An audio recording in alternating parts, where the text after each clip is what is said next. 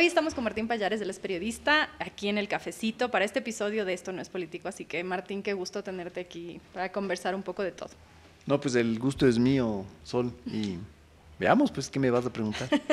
Yo quiero empezar con politizados. Me han mandado algunas preguntas ahora que avisaba que, que, vas a estar aquí, que ya te las voy a leer, pero yo, yo leía un poco y les escuché el último episodio eh, a ti y a Roberto Aguilar eh, de esta despedida que hacen de este podcast, y me parecía chévere que personas de una generación me decías ahora que naciste en los 60, hagan un podcast que es un producto completamente diferente y que no hay todavía aquí hechos por periodistas. Ahora hemos visto varios podcasts de gente que le gusta hablar y hablan de todo, hay de moda, hay de todo. Eh, y ustedes hicieron este para hablar y comentar sobre política. Pero me llamó mucho la atención que decían que no hay ni un solo, o sea, ni uno, decían ni un solo auspiciante. ¿Qué pasó? Somos un fracaso comercial, como decíamos ahí. ¿Pero por qué? ¿Cuál es su lectura? Porque una de las cosas que decía Roberto y que me, me llamó también bastante la atención, esa, esa agudeza eh, propia de él, eh, que hablaba de las élites y él cuestionaba y decía estas élites que te dan el espaldarazo así y en los eventos te dicen como bien el periodismo que haces, pero a la hora de poner pauta eso ya es otra cosa. Claro, no les gusta, no les gusta aparecer con nosotros, no les gusta que sus marcas aparezcan con nosotros. Eh, alguna vez un empresario me dijo, todo bien con, con, contigo, pero ustedes son muy tóxicos. eh, sí, es, básicamente es como son contenidos políticos fuertes, duros, a veces hasta... Eh, mucha gente dice que a veces hasta groseros. Eh, a, muchas marcas comerciales no les gusta meterse con ese tipo de contenido. Entonces, eh, sí, no tuvimos nadie que nos auspicie. Creo, tengo la esperanza de que eso va a cambiar. Vamos a hacer una reformulación de nuestra política comercial y es probable que volvamos a aparecer con politizados. Ahora tú también tocas un tema que me parece importante abordarlo contigo, porque una de las preguntas que recibí de la gente es que me decían que te pregunte qué pasa después de los pelagatos y que si los pelagatos murieron porque el gobierno de Correa se acabó, entonces ya no había de qué hablar porque hablan solo de Correa. Y hago vínculo con esto que tú dices, ustedes son muy tóxicos, porque una crítica que han tenido es como, en serio, superen el correísmo. Eh, la autocrítica que ustedes hacen cuando hablan de estos temas va orientada también a que han dejado quizá de lado otras organizaciones y solo se centran en el correísmo? A ver, lo de Pelagatos también fue un fracaso comercial, eh, también porque las empresas no querían ap aparecer con nuestra marca. Eh, lo del correísmo, eso es una leyenda urbana realmente. Nosotros, si hablo por mí, uh -huh. si he sido anticorreísta es un tema de principios. Yo soy un antiautoritario y podrá venir el que sea. Uh -huh el más precioso, el más bonito, el más bueno, pero que si es autoritario, yo voy a estar en contra. El autoritarismo para mí es algo que no se pasa, no se perdona. Eh, mi formación así me lo dice, mi forma de ser así me lo dice. Eh, para mí, si hay algún pecado mortal, yo no soy religioso, no creo en nada, pero si hay algún pecado mortal en este mundo es el autoritarismo. Uh -huh. Y el correísmo era eso, era autoritarismo duro y puro. Es difícil contradecirte eso, estamos de acuerdo en eso. Y, y, creo que si eres mínimamente crítico en algo que sí puedes coincidir, es que el gobierno de Rafael Correa era autoritario.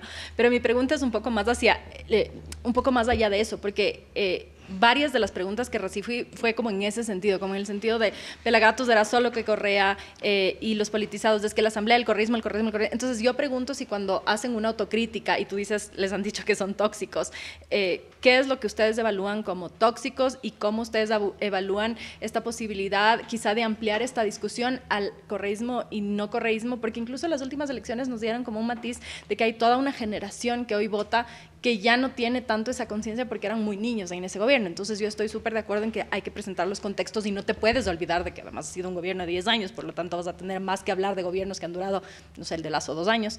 Eh, pero ¿cómo evalúan ustedes esa, auto, esa, crítica y autocrítica? A ver, yo creo que puede ser que en ciertos momentos haya, eh, hemos sido un poco monotemáticos eh, por tratar enfocarnos en un tema, pero a ver, Pelagatos nació cuando Correa estaba en el, en el poder el correísmo es un fenómeno, es un fenómeno que si uno lo mira históricamente, es una cosa gigante. Yo creo que no salimos del correísmo. Uh -huh. Creo que eso de que se acabó el clivaje entre correísmo y anticorreísmo es caca de vaca, o sea, no como tienes, dicen. Esa lectura, no tienes esa lectura del, del triunfo de Novoa, que fue un Eh, poco que se separó de esta dicotomía. A ver, le van a enjuiciar a la fiscal y se arma un alboroto tan grande porque eso es cosa de Correa que se echan para atrás. Van a, aprobar las reformas al COIP, eh, salta el escándalo porque es la inmunidad a favor de Correa, se arma un escándalo, la opinión pública se eriza se, eh, y se echan para atrás. Entonces, ¿dónde está? ¿Está superado el tema? No, pues no está superado el tema. Aquí existe un proyecto político que que quiere retomar las riendas del poder, que es autoritario, que es cleptómano. Eh, entonces, podemos ser los, los viejitos chifladitos de la historia, pero yo por lo menos yo voy a defender ciertos principios. ¿Cómo se autocritican? Nos autocriticamos, eh, escuchamos un episodio, vemos que hemos dicho unas cosas mal, que hemos hablado mal, que tal vez nuestro enfoque fue malo o que no fuimos capaces de ver eh, ciertos matices en el tema que eh, abordamos eh, o que nos quedamos sin un dato. Ese es el tipo de crítica que, de autocrítica que, que nos hacemos. Y ahora cuando regresas a mirar hacia atrás, eh, ¿cuántos años de periodismo has hecho? Híjole, yo hago periodismo desde el 87, me parece. Ya, O entonces... sea, son más de Casi 40 años. 40 años. Casi sí. 40. Es una vida entera. ¿Cómo Es evalúas de esa, ese recorrido como periodista? ¿Qué te ha marcado? Ah, a ver, el periodismo ha sido un oficio lindo, divertido, eh, me ha permitido conocer un montón de cosas, me ha permitido ser curioso en un montón de cosas que en otros oficios no hubiera, eh, no me hubiera suscitado esa curiosidad. Eh, pero también es un oficio duro. Eh, ¿Cuántos fines de semana tuve que trabajar? Si yo veo para atrás, ¿cuántas cosas dejé de hacer porque tenía que trabajar un sábado, un domingo o un lunes o martes de carnaval? Los feriados. Eh, porque claro, antes habían los medios tradicionales, los medios tradicionales salían todos los días y tocaba trabajar. Eh, era- eso era muy duro. Y hubo muchos sacrificios para ti, porque una de las cosas que he hablado con algunos colegas es, por ejemplo, los que han sido padres, eh, sacrificar esos tiempos con la familia, justo por esto que tú dices, ¿no? A veces, eh, como no estuve en... Fabricio Vela decía en algún rato, yo, no- por ejemplo, me perdí la, la infancia de mis hijos, decía él, porque estaba todo el tiempo trabajando. En tu caso, ¿qué sacrificaste? un montón de cosas. Eh, yo no creo que sacrifiqué la infancia de mis hijos. Sí, estuvi, sí pudiste estar presente y Yo hacer las sí dos estuve, cosas. yo sí estuve de alguna forma, estuve con en la infancia de mis hijos. Tal vez pude haber estado más. Eh, ¿Pero te han reclamado en algún momento? mis hijos, no. No. No, eh, nunca. Eh, ellos más bien la pasaron muy mal por el acoso que había durante el correísmo en mi contra. Eh, eso lo pasaron muy mal. Cuéntanos un poco de eso. como- co- para la gente que yo, yo sí me acuerdo de las sabatinas y tal, pero hay gente que nos ve y que es más joven y que no. O sea, llegaban los sábados, llegaban los sábados y este señor tenía eh, todo este, mm, este, esta logística, este, eh, esta parafernalia, ¿no es cierto? Que eran eh, radios, estaciones de televisión, eran, era todo, redes sociales y donde hubo una vez que me dedicó siete de estos enseguidilla. Eh, en los ¿Y qué hacía? siete, ¿Te en los sacaban la siete imagen? sacaban la imagen. Póngame, por favor, del inefable dependenciero falaz, ¿cómo se llama? Payares. La tragedia de los Drups y el fracaso del Ecuador como país. Fracaso del Ecuador como país.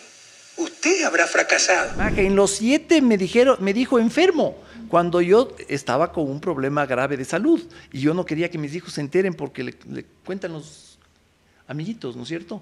Eh, eso fue duro, yo los vi, eran chiquitos. Pero él se refirió a la enfermedad que tenías en ese momento. No ¿O sé. te dijo enfermo como diciendo, como queriendo insultarte. No sé, no sé, pero si tú le dices a una persona siete veces enfermo o le dices una vez enfermo, o sea, un jefe de Estado no le puede decir a nadie enfermo, por Dios. Claro. Es, es, es, es, es, Es inadmisible. es perverso, es perverso. Entonces, esas cosas sí sufrieron mis, mis hijos, me pedían que ya no me meta, que ya no escriba sobre en ese política momento, ¿dónde estabas tú?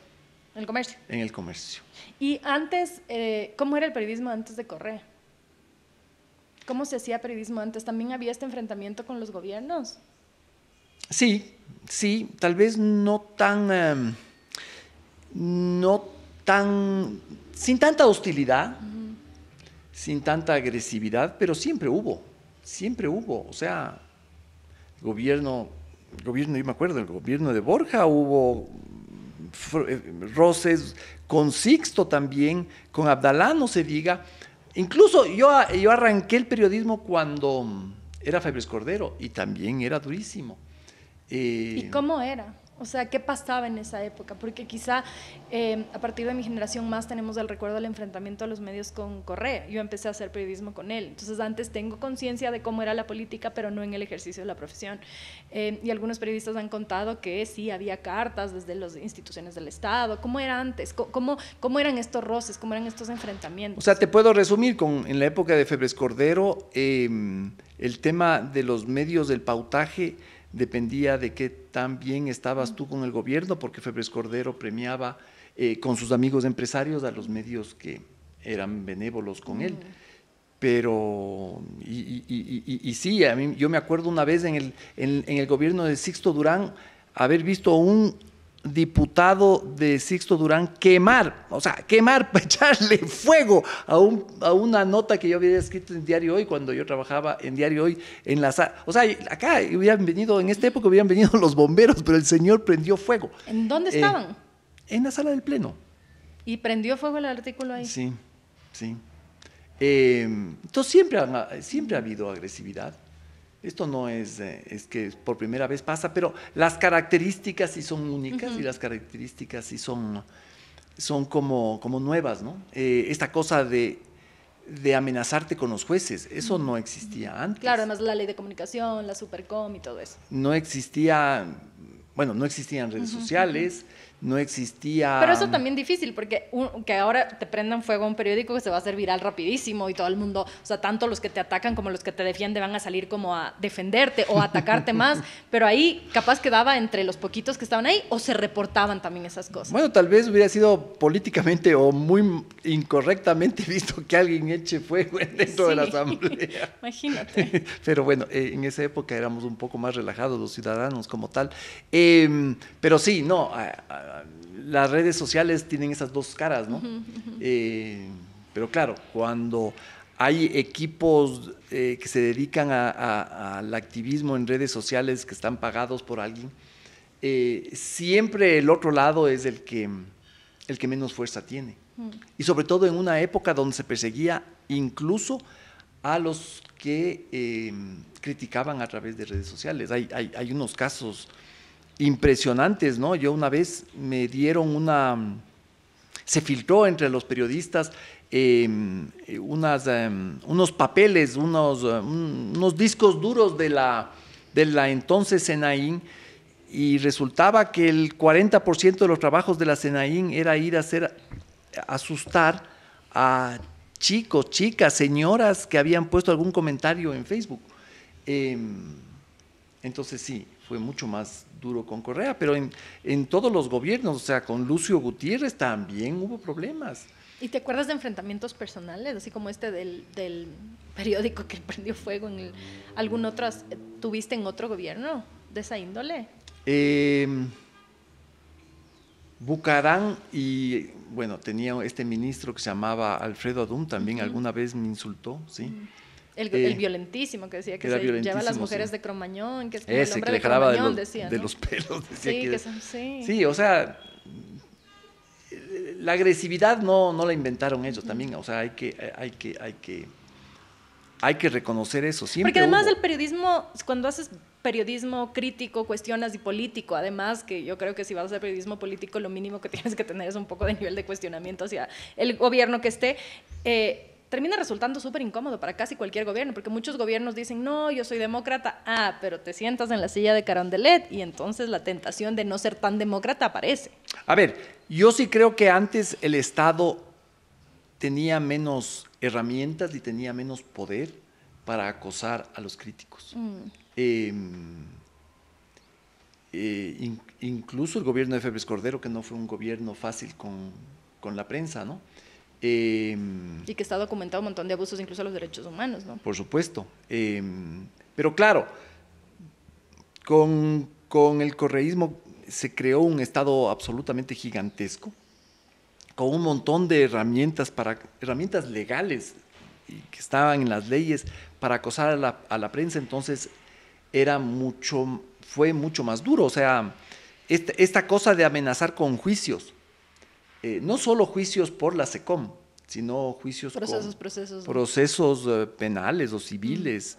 Eh, yo sí, fui que estuvo O'Neill contándonos también cuando se le inició el juicio por la caricatura y luego se le pidió que corrija la caricatura.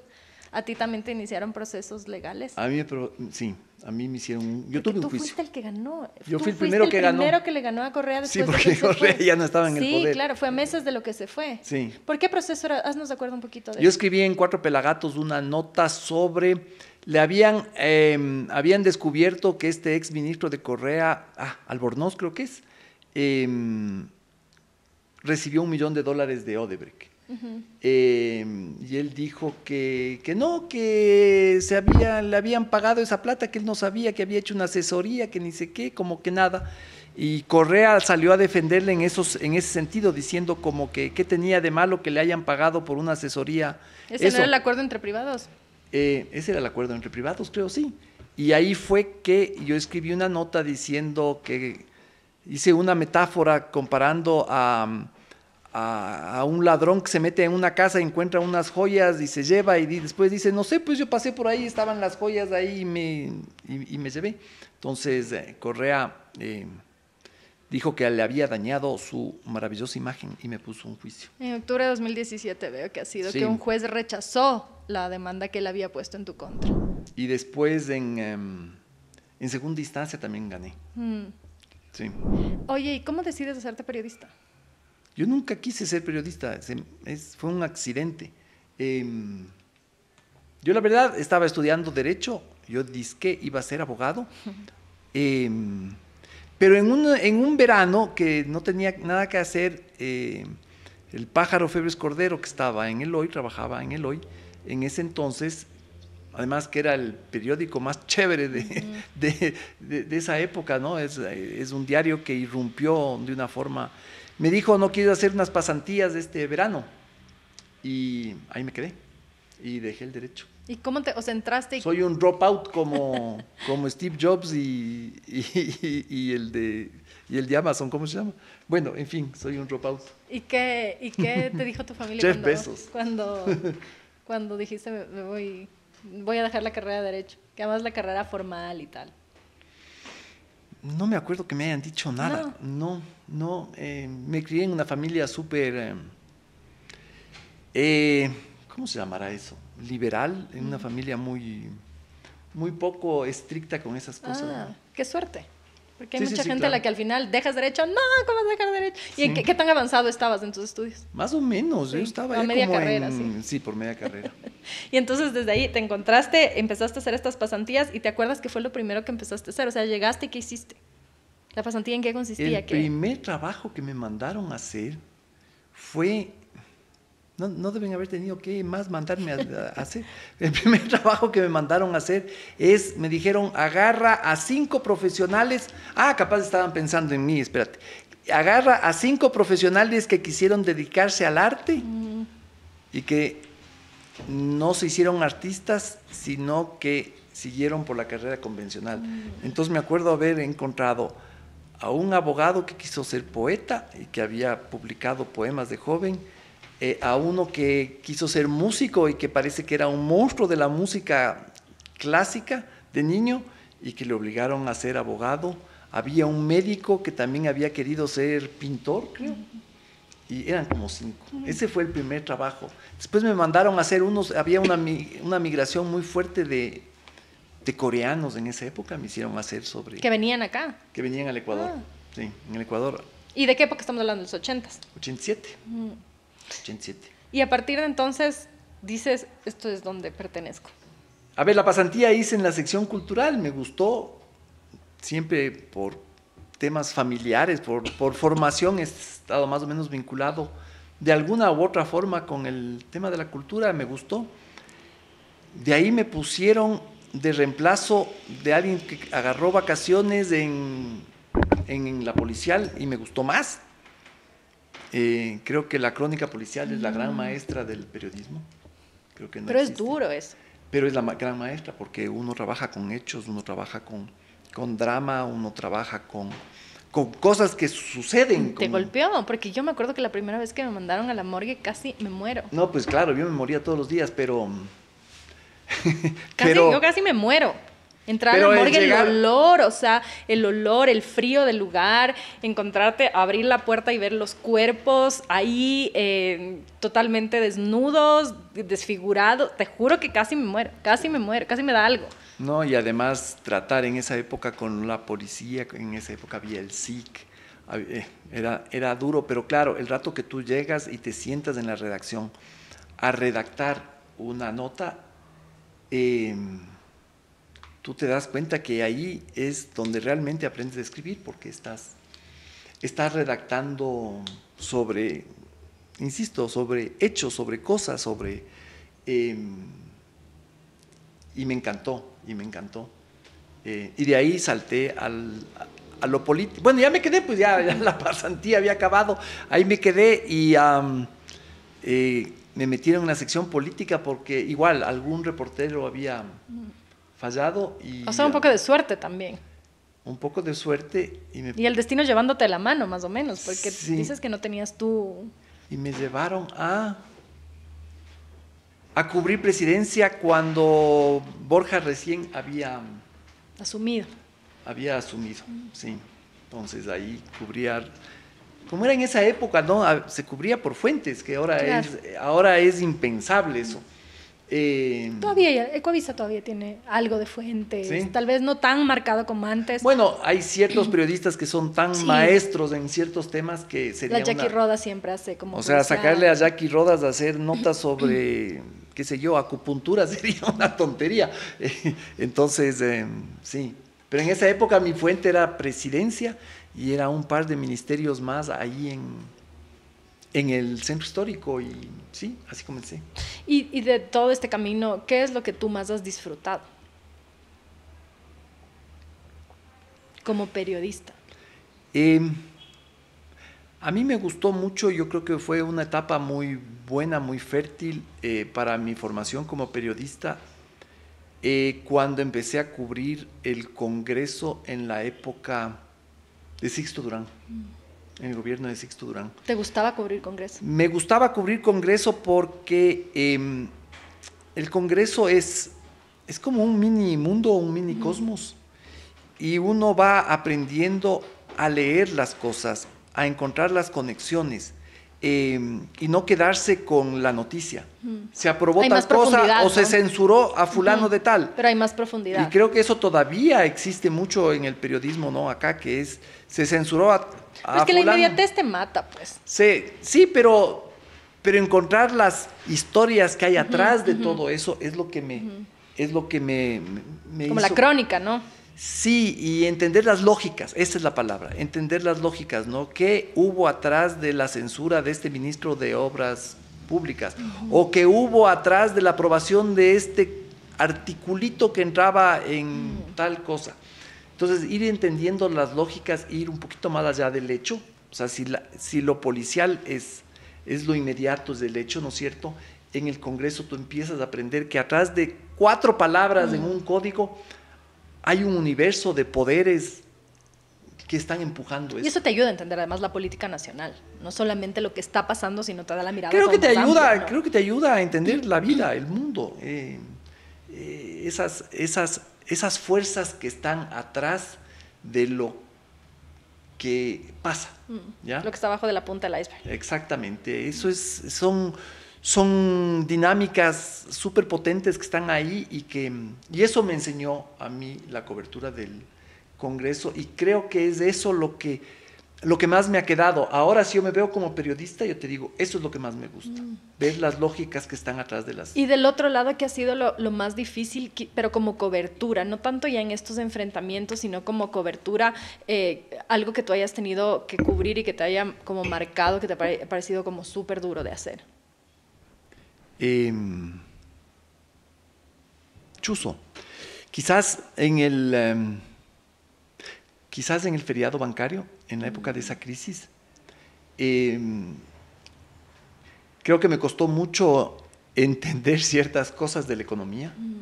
Em, creo que eso me forzó a, actualizarme mucho en, los términos, en, sí, en, cierto conocimiento de la teoría de la, economía, ¿no? Em, y, creo que me marcó mucho, o sea, eh, el, haber visto ese, ese, ese quiebre del Estado ecuatoriano y ese quiebre del país Em, incluso es un poco como una pesadilla que yo tengo de que vuelva a ocurrir. Em, y, creo que eso me marca mucho hasta en la forma en que razono, pienso y las cosas que veo sobre los hechos actuales, ¿no? Es, es, que el país vuelva a sufrir un colapso como ese. ¿Y, ¿Y, has tenido algún impacto así a nivel como humano de alguna historia que has cubierto? Sí, claro, muchísimos. Ah, hay, historias. Eh, el tema de los hermanos Restrepo que yo cubrí cuando estaba en policial en el hoy eh, fue un tema que me marcó muchísimo. Eh, hay, hay, hay, hay, muchos otros, ¿no? O sea, el, de la muerte del general Gabela. Pero cuando uno cubre de cerca y va y entrevista, es como súper diferente que. Porque tal vez. Gabela, ¿estabas cubriendo todavía? ¿Era reportero? Eh, no, pero me metí en ese tema de alguna forma eh, como editor político que estaba en el hoy y luego incluso en Cuatro Pelagatos seguí el tema y em, es que uno, uno no, deja de ser humano, o sea, cuando, y te debe haber pasado a ti, yo estoy seguro, eh, le vas y le entrevistas a la viuda de Gabela. Es súper conmovedor. Es, es algo que te, que te quiebra, pues, es, algo que te, que te, que te derrumba, que te, que te hace replantear un montón de cosas. y eso, eso pasa en un montón de casos. Eh. Y las historias con los niños, desde que yo tengo mi hijo, desde que yo soy mamá, los veo de una forma completamente distinta. O sea, antes las cubría, obviamente, o sea, te conmueve, pero es súper diferente para mí cubrir historias que tienen que ver con niños eh, y, hace unos años cubrí una de esta una guardería y mi hijo tenía la edad parecida de los niños estos que estaban en la guardería y que habían muerto en una guardería del MIES del uno el, un día, el mismo día en dos guarderías diferentes. Entonces ir a entrevistar a la mamá y la mamá se ponía a llorar y te contaba cómo le llaman a contar. Yo estaba sentada y mientras estaba sentada solo quería salir corriendo a recogerle a mi hijo de la guardería. Es que el día que uno se convierte en papá o mamá uno uno cambia por completo uno ve las cosas de otra forma y, y uno siempre, en algún momento, cuando uno conoce un drama, uno se pone en los zapatos de esa mamá o de ese papá. y, eso, eso, eso te, rompe, te rompe. O sea, yo sí creo que eh, el haber llegado a ese momento es, un momento, es, es algo que te, que te que te parte la vida, ¿no? En un antes y un después muy, muy fuerte. Es irreversible. Es irreversible y, y, no es porque sean temas que uno trata, pero si uno ve en redes sociales que algo le pasó a tal niño, yo creo que es absolutamente inevitable ¿Qué piensas que uno piense, que uno no piense en, que uno piense en, en tu hijo y en tu condición de padre. Eh, y eso es muy duro. Y eso es muy duro porque a la vez también te debilitan, ¿no? o sea, como que te da fuerza, porque creo que los hijos son un motor, entonces tú haces cosas por tus hijos y tú decías cuando Correa me atacaba, a mí me preocupaba, o sea, lo que primero piensas tus hijos y en este contexto de violencia, mis hijos y no sé qué. Y te recuerda una cosa tenaz, y te recuerda una cosa tenaz que es, esto me puede pasar a mí. Claro.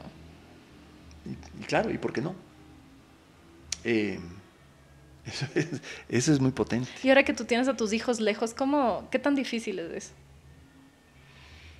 Es que uno sigue, hay un dicho, ¿no? Guagua, feliz, taita feliz. Em, uno está conectado 24/7. La gente cree que los hijos crecen y ya te olvidas, ¿no? No, no, Desmitifica eso, Martín, por favor. que te dicen, ya va, pero ya va a crecer y vas a poder volver a hacer todo. Nunca puedes volver a hacer todo. No, no, y nunca se vuelve a dormir igual de bien que cuando, cuando uno no tenía un hijo. O sea, si uno, y cuando los hijos están lejos, uno sospecha que el hijo este está triste por un motivo o está angustiado por eso, uno no puede dormir tranquilo. Eso es, es una conexión, es una conexión tenaz. ¿Y cómo fue despedirte? Porque una de las cosas que a mí me parece tan difícil es esa despedida. Cuando se fueron a estudiar afuera, ¿cómo, te, cómo fue la despedida? A ver, em, mi hijo mayor sacó una súper buena beca en un college bueno en los Estados Unidos y yo fui a dejarle y me acuerdo haberle dejado, esto en, un sitio al, norte de Nueva York, en, la mitad de unos bosques muy, muy hermosos, y fui y le ayudé a, comprar las sábanas, los colchones, las, las, almohadas, qué sé yo, todo, ¿no es cierto? Y ya el día en que me dijo, ya, chao, porque ya, chao. Eh, no, pues. ¿No te fuiste llorando? Me fui llorando, llovía y yo creo que caía más agua dentro del carro que afuera. Eh, Sí, son, Porque es como un choque, ¿no? O sea, a la vez, qué hermoso que mi hijo pueda cumplir este sueño de estudiar fuera, de tener una experiencia, que fuera del país una experiencia siempre te marca, te enriquece, pero a la vez como que ya no te va a ver todos los días. No, pues yo le veía por el retrovisor que se quedaba con unos chicos ahí conversando, que después fueron sus grandes amigos, y yo me iba en el carro al, al pueblo donde estaba hospedado, yo iba hecho un, un mar de lágrimas. ¿Y con tu hija ya fue menos difícil o no? Eh, ya fue distinto. Con mi hija, ella, ella siempre fue, yo creo que más aventurera, más, ella desde mucho más chiquita siempre quiso irse afuera, entonces me acuerdo que en el colegio se fue a, hacer un intercambio en un colegio en Francia después, entonces ya como que estaba más preparado, pero siempre ha sido muy duro, siempre ha sido, muy, y, y la conexión que uno tiene con las hijas mujeres es, es muy potente. Y la preocupación también es diferente cuando hay hijas mujeres, porque hay otros riesgos para las chicas, ¿o no? A ver, yo no sé si será una bestialidad lo que voy a decir, pero, pero cuando los hijos están aquí, para mí era una tortura, o sea, ya adolescentes grandes habrán llegado, no habrán llegado, quién les habrá traído, se habrán chocado, eh, ya es la una, ya es la dos, ya son las tres. Em, entonces ahora, eh, ojos que no ven, corazón que no siente, dicen, ¿no? Entonces... no sabes si llegan tarde o no llegan. sí, pero hasta ahora todo ha ido bien, así que a mí en ese sentido me tranquiliza tenerles lejos. Además del contexto de violencia, el país es muy Además del contexto de violencia, totalmente. Oye, todos los días leemos que la persona, gente joven, desaparecida, este chico Mendoza, escopolaminado por una banda que se dedicaba por 50 dólares, un taxista, escopolaminar a los muchachos. Eso es, un tema, eso es un tema que a mí también me ha tranquilizado, o sea... Oye, y cuando regresas a ver tu infancia, ¿cómo era tu infancia? ¿Cómo era el Martín chiquito? Yo creo que tuve una infancia muy feliz. Yo venía, o sea, crecí en una familia muy, em, muy abierta. Yo nunca recuerdo, no tengo el más mínimo recuerdo de mis papás dándome ni siquiera una nalgada. Alguna vez creo que mi mamá me cogió de la oreja porque me fue pésimo en, el en la escuela, en el colegio. Em, pero una muy buena infancia rodeado de, siempre en contacto con el campo. Eh, mi papá era agricultor, eh, pero mi papá también se dedicaba a los temas de patrimonio artístico. Eh, tenía, mm, no sé, fui rodeado, fui cobijado por una familia buena, una familia con principios, una familia mm, con mucha curiosidad intelectual de todo. ¿Y qué hacías de chiquito? ¿Qué te gustaba hacer? ¿A qué jugabas? ¿Cómo es? Pues, yo creo ¿Qué te acuerdas así? Porque si a mí me pregunta qué te acuerdas de pequeña, te puedo responder así como dos, tres imágenes. ¿Y qué sé yo? De niño me gustaba montar bicicleta con los amigos del barrio. En esa época uno salía al barrio y tenía los amigos del barrio. ¿Y tu barrio era cuál? Yo vivía por donde ahora es el Consejo Nacional Electoral. Por el Canal 8, hacia abajo. Sí, la 6 de diciembre, la voz mediana, por ahí. Sí. Eh, que no debe haber estado tan poblada como ahora. No, pues la Eloy Alfaro tenía. Era empedrada y se llamaba Avenida de las Palmas, la 6 de diciembre Em, o sea, eso era como campo. Yo me acuerdo que llegué a tener un caballo. Y me dio la periferia de Quito. O sea, era todavía no era, la periferia. Claro. Era, era, el camino al Inca, se llamaba esa vaina. Eh, yo me acuerdo haber llegado a tener un caballo en la casa. en las 6 de diciembre. Y mi papá me decía, cuando cruces las 6, chequearás bien para los dos lados. yo pasaba las 6 de diciembre a caballo. Y la Carolina estaba ahí, la Carolina. Claro, yo siempre me iba a la Carolina montada ya. Em, sí. ¿Y eras inquieto? ¿Eras travieso? ¿Hacías horrores? Eh, yo creo que no, pero dicen que sí, pero Pero no, eso no te acuerdas. Eso no me acuerdo. Memoria Eh, selectiva. No, y me gustaba jugar fútbol, me encantaba el fútbol. ¿Y me todavía te gusta el fútbol? Sí, sí, ya no juego, pero Pero vas al estadio y eso. cada vez menos. Cada vez eh, menos, pero sí, sigo, sigo el fútbol. ¿Y qué equipo te gusta? Yo soy cero futbolera, pero tengo un hijo que es futbolero como los locos, entonces lo poco que aprendió de fútbol Soy es por él. liguista, soy liguista. o sea, ah, recién hubo un partido, ¿no es cierto? De liga. No, ya. hoy hay. Hoy hay el, la- es- pero hoy es el segundo, el de vuelta. El de vuelta, el final de la recopa, sí. Y por ejemplo, ahí cuando juega la liga te emocionas, si ves el partido, No, todavía yo o ya sufro- no. yo sufro sí muchísimo. Ah, sí sufre. Ya la parte del disfrute se acabó, ahora solo, ahora solo sufro. Eh, ¿Qué más? No, y me gustaba, siempre me gustó más jugar que estudiar en el, en el colegio, nunca fui así un alumno demasiado aprovechado. Eh, es más, miles de veces no escuchaba la sirena y, me- y- seguía jugando fútbol y me gané unas regañadas terribles por eso, porque me encantaba jugar fútbol, me encantaba ir al campo también, me gustaba mucho. ¿Tu colegio era mixto o era solo de varones? Mixto. Entonces eso también da una perspectiva distinta, ¿no? Porque he hablado con algunos que vienen de colegios solo de varones o solo de mujeres y es diferente estar en un colegio mixto. Las relaciones entre hombres y mujeres se hacen diferente cuando uno está en un colegio mixto. Me imagino, me imagino. Hay, hay un, yo me acuerdo, hay un capítulo en Los Miserables de Víctor Hugo donde él habla sobre eso, imagínate, en, en esa época, y dice que, eh, yo no sé, debe ser principios del siglo XIX que escribió Víctor Hugo Los Miserables, y él dice que estar en un colegio solo de varones o solo de mujeres es lo más antinatural del mundo, porque la sociedad Está no compuesta de pues, hombres y de mujeres. Es, es de hombres. y Además te da un sentido distinto a la igualdad, creo yo, cuando estás en un colegio mixto. Si tú ves colegios de hombres o colegios de mujeres, hay una diferencia en las relaciones. Salen. Yo recuerdo en la universidad, cuando yo recién empecé a estudiar equivocadamente economía y llegué a la PUSE, y claro, había tenido muchos compañeros de colegios o de curas o de monjas. Y era como ver mundo, y era como, este bicho raro llamado chica, ¿cómo te llamas cosa? O sea, más o menos así. Sí, sí, mientras- sí, yo no, yo no, yo no podría entender mi vida de colegio sin, sin mis compañeras. Y todavía son tus amigos o Pero por amigas, tus compañeras del colegio. Claro, claro. Porque se hacen a veces amistades entrañables, ¿no? Sí. Y nos reunimos y no, pues yo les tengo un cariño inmenso a muchos y, y muchas. Amigos del colegio. Sí, muchísimo. ¿Y qué haces tú como para distenderte en este país que uno necesita tantos espacios algún rato de respirar? Ahora, ahora estoy haciendo con mi esposa, hacemos mucho mm, caminatas a, a la montaña. Mm, eh, caminatas duras. y no, no andinismo ni, ni subimos a las cumbres, pero estamos con un grupo de gente que a veces lo hace, pero nosotros a veces nos quedamos más abajito de la Mm. cumbre, pero sí hacemos caminatas de 6, 7 horas. Eh, eso me gusta muchísimo. y una La época con tu, con tu esposa también tenían un restaurante de hamburguesa, Ella tenía un restaurante de hamburguesas. Sí. que además eran famosísimos, todo el mundo Las recomendaba. hamburguesas de Manuela. Sí, pero todo el mundo recomendaba. Y luego cerraron un día y fue como, ¿qué pasó? Si todo el mundo parecía, parecía Sí. que iba bien. Muy difícil el negocio. Muy duro, muy difícil. Y después vinieron una serie de acontecimientos. Primero vino la pandemia y fue un petardo. Y después vino el- el- el- el- las protestas de esas de junio del, del 22 y ay, sí, ya. Ese fue el acabó. Ese fue el, el- el- el descabello, como decimos los taurinos, del descabello, pues. ¿Y a ti te gusta cocinar? Eh, ¿O no mucho?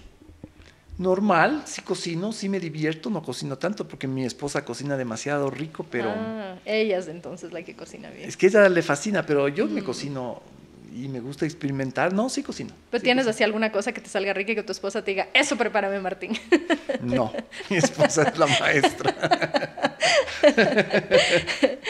¿Y qué más? ¿Qué más haces para desconectarte? Porque además tú tuviste que enfrentar este problema de salud que decías que no querías eh, que tus hijos se enteraran y todo. Y también cuando uno pasa por estos quiebres de salud como fuertes, cambia a veces también la perspectiva de la alimentación, de la vida, de todo. Me gusta salir a caminar con mi perro. ¿Cómo se Eh, llama tu perro? Aiku. ¿Y qué perro es?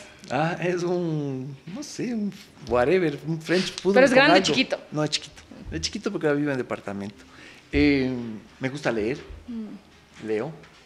Eh, Mm. ¿Y qué lees? ¿Qué es lo que más te gusta leer? A mí literatura, Mm, novelas, así. sí. ¿Y quién te gusta? ¿Qué autor, por ejemplo? Si yo te digo, Martín, recomiéndame un libro, ¿qué me recomiendas tú? A ver, a mí me gusta mucho la literatura mm, gringa. Mm. Siglo A mí esa no me termina de enganchar, oye. No. Intento, intento darles oportunidades y A no me engancha. los novelistas gringos me gustan muchísimo. Ah, bien. Sí, sí, sí, sí. ¿Y de autores ecuatorianos te gusta alguno? Bueno, los, los clásicos, ¿no? Los, los de toda la, la vida, Pablo Palacio, me gusta, me gusta.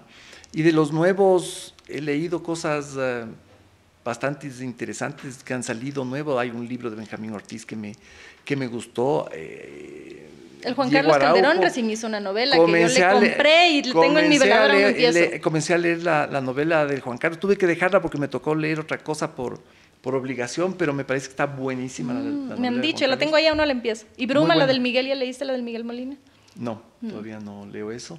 Eh, pero mi, mi corazoncito siempre está con la literatura gringa. Por algún motivo me, me gusta esa, esa narrativa, mm, esa narrativa mm, tan clara, tan potente, tan dura de los, Mm. de los americanos. Así medio descarnada en ciertas partes. Esa, esa, esa pasión por contar historias Mm. de los gringos. Entonces ahí tengo yo autores adorados como Philip Roth o como, o como John Updike. Sí, es- Roth Pantalla. Pero tampoco soy, intento. pero no he tampoco soy filático ni me paso leyendo todo el tiempo. eh, soy curioso y experimento y eso. Oye, ¿y lo más difícil que has tenido que enfrentar en tu vida? Lo más difícil que he tenido que enfrentar en mi vida, yo creo que fue cuando me diagnosticaron una enfermedad complicada que tengo. Eh, eso. ¿Y cómo enfrentaste? ¿O cómo vas enfrentando? ¿Cómo he enfrentado? Eh, uno aprende a enfrentar, uno recibe la ayuda de gente como, como la de mi esposa, ¿Cuántos años estás casado? 24 ya, Un montón también. sí. Sí, ella ha sido como un sostén muy, muy poderoso en mi vida para todo. Eh, pero sí, yo creo que eso puede ser lo más fuerte. Claro, la muerte de las personas queridas, ¿no? La muerte de mi papá Te marcó mucho. me marcó mucho. ¿Qué edad tenías? la muerte de mi abuelo. eh, no, pues mi, mi papá murió en el 2008, ya era grande. Pero es ine- inevitable, o sea, no creo que haya una edad en la que esas muertes... no- Todos tenemos que despedirnos de Sí. nuestros papás, ¿no? Todos. Pero debe ser una cosa súper fuerte, ¿no? Sí, sí. Porque son vínculos tan primarios que uno tiene con los padres que esas pérdidas irreversibles también, irreparables. O sea, aprendes a vivir con eso, pero no sé si alguna vez Y te conforme pasa. pasan los años, uno empieza a dimensionar de distintas formas a esa persona, ¿no es cierto? Y a veces, ¿qué es lo que me pasa? Se va haciendo más, más importante y más... Mm, La figura. Sí, sí. Y uno empieza a explorar más de esos nexos, de esas cosas con, con la persona que se fue. Eh, en este caso con, con mi papá, por ejemplo, yo, eh, yo, yo siempre estoy examinando eh, el paso de este padre por la vida de uno y es, y es fantástico. ¿Y cómo te marcó tu papá? ¿Qué es lo que tú crees que más te marcó de esa relación con tu padre? El amor por la belleza. eh, esta cosa de esta, esta obsesión por encontrar belleza en todo, en la naturaleza o en las, en las cosas del ser humano. Eh, eh, mi papá era, sí, era, yo sostengo que es el último romántico de este país. Eh, era, eh, o sea, todo el tiempo yo creo que no descansaba de buscar cosas bellas, sea en literatura, sea en el paisaje, sea en, en- en una obra de arte, en lo, en- lo que sea. ¿Y en qué te pareces tú a él? Ojalá en eso. Ojalá en eso. Eh, y bueno, hay ciertas pasiones ¿no? que él me transmitió, el, el amor por las plantas. Eh, ¿A ti sí no te molestan las plantas adentro de casa? No me molesta las plantas. Y por ejemplo, hay cosas como, eh, no sé, mi papá le parecía imperdonable que uno no sepa no- los nombres de los árboles. Decía, si la gente sabe los nombres de las personas y sabe los nombres de los autores de los libros, ¿por qué? ¿Cómo es que no saben? le parecía una ofensa no saber los nombres de los Entonces yo siempre trato de aprender los nombres de las plantas. ¿Y cuál es tu árbol favorito? ¿Tienes uno favorito? Ah, el arupo es hermoso. Sí. Pero ahora que veo cholanes un montón, también se ven tan bonitos. sí. sí, eso me marcó mucho en papá, sí. Oye, y un poco regresando eh, al tema del periodismo, ha habido muchos cuestionamientos acerca, ahora que hemos visto estos chats que revela la, Fiscalía de las relaciones entre Anderson Buscán y que, mm, poniéndole ñaño a Norero, eh, y a ellos también, como dicen mucho, tienen este discurso de que son periodistas premiados por este tema del gran padrino, y aquí ha habido muchos cuestionamientos por grandes maestros del periodismo, el Juan Carlos Calderón lo hizo públicamente, eh, sobre cómo fue hecha esta investigación, la falta de rigor la falta de, ciertos eh, conceptos y preceptos del periodismo, pero ahora veía, mientras íbamos antes de grabar este episodio, que habían ganado este premio Rey eh, Juan Carlos eh, Rey de España, em, que es un premio súper prestigioso, y un poco la narrativa que hay desde la posta es como, si ven que afuera nos reconocen y acá en cambio los, las vacas sagradas, dicen ellos, nos, critican, nos odian, nos... nos cuestionan, etcétera. ¿Cómo ves tú este, esta, esto, todo esto que he descrito? A mí me inquieta mucho que el periodismo se convierta en una herramienta de operativos políticos. Eh, cuando digo operativos políticos me refiero a sacar a un ministro.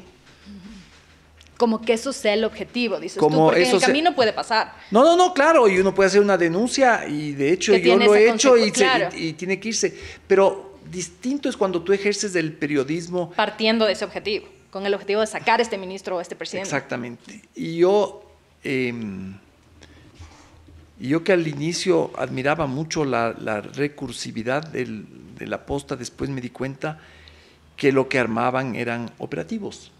O sea, ¿tú crees que ellos no hacen periodismo? O sea, es una mezcla de periodismo con, con esto, ¿no? Yo creo que eso, eso le quita legitimidad a ese periodismo, sí. Em, y el tema de lo que vimos en Norero es eso, ¿no? Es, es, es el, en el mejor de los casos conseguir información a toda costa. Eso lo escuché yo a Anderson Boscan decir que eh, por una información cualquier cosa vale y no, yo no, eso me espeluzna, eso me espeluzna. Los límites son los límites éticos, ¿no? Eh, Porque algunas personas dicen cuando tú tienes que hablar con el narco tienes que tener una jerga, tienes que eh, jugar un juego, digamos. Ese ha sido el argumento que he leído en algunas personas, pero revisando un poco las investigaciones que se hacen, por ejemplo, en México, los colegas, eh, hay unas líneas muy claras marcadas sobre cómo te relacionas. Y después nos entramos, porque Anderson Buscan dijo en Teleamazonas de una entrevista, un poquito después de que supimos de estos chats, que él reconocía que hubo un error de de forma, en la forma de tratarse, eh, y que él no sabía que había estos, estas amenazas a otros colegas, pero si es el capo del narco, ¿cómo tú, o sea, cuáles son los límites y cuál es el propósito de esa conversación? Es que yo no creo en la diferencia entre la forma y, la, y el fondo. Forma y fondo son lo mismo. Si uno empieza a añañarse con un narcotraficante, y no es cualquier narcotraficante, o sea, son asesinos. Y vimos luego que además estaban en la mira colegas periodistas, ¿no? Exactamente. había nombres ahí. Em, entonces, si tú te ñañeas es porque hay un problema en el fondo. Eh, yo por lo general no distingo mucho entre forma y fondo, por eso. Eh, en general en la vida y en esto eh, también, ¿no? Eh, ¿Y cómo, puede, cómo crees tú que esto puede afectar al ejercicio del periodismo? Porque el discurso que ha habido desde la posta es que ellos han caído en desgracia un poco porque se bajaron a Guillermo Lazo y que por eso toda la gente les odia, porque además Lazo tenía poder y que los otros periodistas son envidiosos, etc. y yo regreso un poco a este problema que yo siento que hay en el gremio del periodismo, que es esta falta de autocrítica, decir, a ver, creo que aquí sí me pasé ¿Cómo crees tú que esto afecta al periodismo en su conjunto? Que además está desprestigiado, desgastado, no solo en el país, en el mundo. A ver, es gravísimo para el periodismo porque es, es en el momento, en la coyuntura histórica del derrumbe de los modelos tradicionales de periodismo, ¿no es cierto? Empiezan a aparecer estas empresas periodísticas que uno dice, aquí está el nuevo modelo de negocio que va a salvar el periodismo, y resulta que ocurren cosas como estas. Y, no, y, estoy hablando de la posta, hay, hay N cantidad de supuestos medios que aparecen en redes, que aparecen un día, acaban, insisto, en, acaban un operativo y desaparecen. o, o, evidentemente trabajan para una agenda de, qué sé yo, ahora por ejemplo yo veo muchísimo esto con, con, con, con los temas que tienen que ver, que le convienen al aparato de propaganda ruso, por ejemplo. Em, y hay mucha desinformación también unos medios que en realidad a propósito, y aquí vemos, o sea, hay mucha información como descontextualizada para tratar de tergiversar algo que en principio una parte es verdad, pero el resto ya no es verdad, entonces es muy confuso. eso, es, parte de esa agenda, eso es parte de esa agenda. Em, entonces, claro, cuando uno dice finalmente están apareciendo los nuevos modelos de negocio que van a salvar el periodismo, pasan estas cosas y te das cuenta que, que las las fuerzas oscuras de la política o las fuerzas oscuras del empresariado empiezan a utilizar a periodistas y a medios para determinadas agendas, uno es decepcionante, es decepcionante. ¿Cómo distingues la paja del trigo como audiencia? Es difícil. Em, yo me pregunto, para mí es difícil esa, esa pregunta, Sol, porque porque yo ya no, ya con tantos años en el periodismo, yo ya no puedo ser una... Me es difícil ponerme en los zapatos de una audiencia normal frente a estos hechos. Además que hay unas brechas insalvables. Oye, yo a veces oigo chicos de 20 años y no les entiendo nada. Tengo 39 y no les entiendo nada. O sea, es una diferencia. Eh, la proliferación de redes, las nuevas formas de comunicación, las nuevas narrativas sí te han cambiado totalmente esa relación entre el periodista o el que va a comunicar o el que tiene la información y la audiencia. Y hay ocasiones, hay ocasiones donde hay periodistas que caen en esto sin darse cuenta, muy jóvenes. Eh, yo cuando veo a algún periodista que empieza a sacar por montones estos informes de, inteligencia, ¿no? Que según el informe de inteligencia, ni sé qué, según nuestra fuente en la penitenciaría, según yo empiezo a sufrir, sufrir porque las más de las veces, o no sé si las más, pero muchas veces, esos periodistas no están recibiendo ni plata, ni están, ni están haciendo un acto, un acto de corrupción. Eh, muchos de esos periodistas están siendo usados por gente que ellos no se dan cuenta. Mm. Eh, y eso es porque yo también a veces veo muy atrás en mi, en mi tránsito de periodista y ahora me doy cuenta que algunas veces sí fui fui instrumentalizado por alguien. Entonces, es medio inevitable a ratos, pero. Es inevitable. Porque es, el paso de pero la hay momentos, a la experiencia. Pero, pero de un episodio aislado, un episodio corto, a, a, ciertas cosas muy sostenidas en el tiempo, ya es sospechoso. Eh, pero te digo, muchas de las veces esos periodistas, por tener su cuarto de hora de fama y de, y de protagonismo, no se dan cuenta que están siendo utilizados por unas fuerzas oscuras.